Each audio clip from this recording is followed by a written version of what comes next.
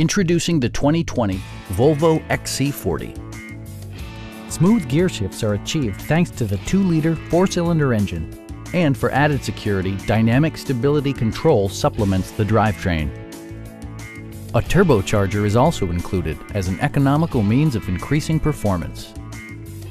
Top features include leather upholstery, automatic dimming door mirrors, power front seats, front fog lights, power moonroof, a power rear cargo door, rain sensing wipers, and air conditioning.